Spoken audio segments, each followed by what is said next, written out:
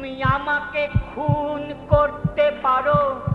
একবার দুবার তিনবার পাঁচ হাজার বার ছ হাজার বার তবু শেষটা আমার কিন্তু চিরকাল থাকবে তোমার চেয়ে বেশি হাতিয়ার।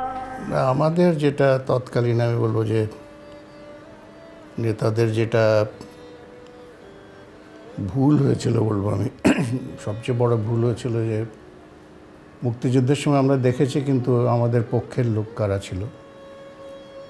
আমাদের পক্ষের শক্তি কারা সেটাও আমরা দেখেছি, কোন এবং বিরুদ্ধের শক্তিগুলোকেও কিন্তু আমরা দেখেছি। এবং তারা চরমভাবে আঘাত করার চেষ্টাও করেছিল কিন্তু সিচুয়েশনের কারণে তারা হয়তো সেইভাবে আঘাত করতে পারেনি। সুতরাং এটা খুব সহজেই যদি আমরা ভাবি, তাহলে কিন্তু ভাবনাটা এইভাবে আসে যে তারা তাদের একটা প্রতিশোধ মানে এটা একটা প্রতিহিংসা প্রতিশোধের ব্যাপার এটার সাথে ছিল তাদের। এবং তারা তাদের যে মানে বিশেষ করে আমরা বলব পাকিস্তানের এই প্রায় লাখখানেক সোলজারের সারেন্ডার করা, এটা কোনোভাবেই তারা মেনে নিতে পারেনি। এবং তাদের সাথে যারা, তাদের সহকারী বা সাহায্যকারী ছিল, তারাও কিন্তু তাদেরকেই সাহায্য করেছে। এবং সেই কারণে আমরা, আমাদের যেটা ভুল হয়েছে সেটা হলো যে বঙ্গবন্ধু বাঙালি জাতির একজনই নেতা এবং ওইভাবেই তিনি নিজেকে তৈরি করে নিয়েছিলেন এবং সর্বস্ব উজাড় করে দিতে চেয়েছিলেন এই জাতির জন্য। সেই মানুষটাকে আমরা বাঁচিয়ে রাখতে পারি নাই, এটা হলো আমাদের সবচেয়ে বড় দুর্বলতা আমি বলব, বা অসফলতা যাই বলি আমরা। সফলতার সাথে এইটা কিন্তু আমাদের হয়ে গেছে।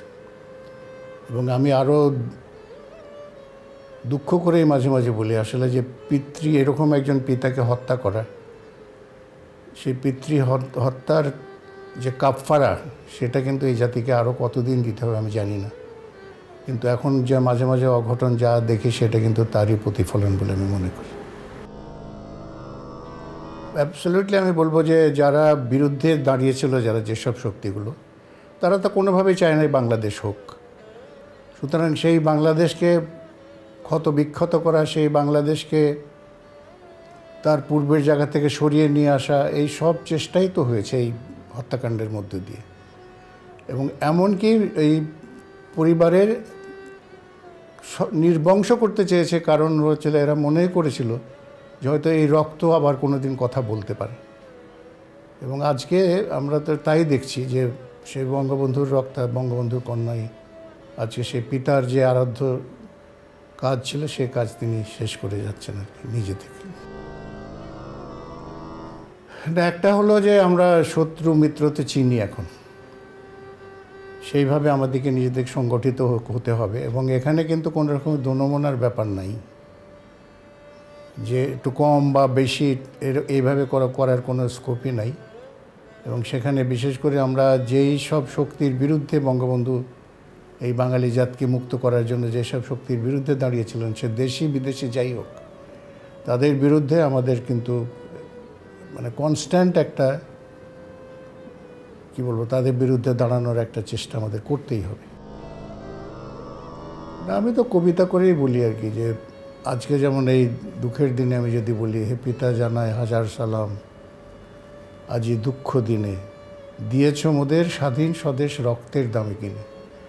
তো এটা প্রত্যেকটা নতুন প্রজ- জন- প্রজন্মকেই বুঝতে হবে যে আসলে বহু রক্তের বিনিময়ে কিন্তু আমরা এই দেশ স্বাধীন পেয়েছি। সেই স্বাধীনতাকে রক্ষা করতে হলে এবং বিশেষ করে যে বাঙালির মুক্তি যেটা, যে, যেটার জন্য বঙ্গবন্ধু সারাটা জীবন তার পরিশ্রম করেছে, কষ্ট করেছে। মানে কি বলব, তার কোনো বেসুমার পরিশ্রম করেছেন আর কি। সেই মানুষটার যে স্বপ্ন, সেটা ছিল সার্বিকভাবে বাঙালি জাতি হিসাবে। এটা কোনো ধর্ম বর্ণের ব্যাপার ছিল না, জাতি হিসাবে আমাদের সারা পৃথিবীর কাছে পরিস্ফুটিত হতে হবে বা আমাদের জায়গা আমাদের নিতে হবে।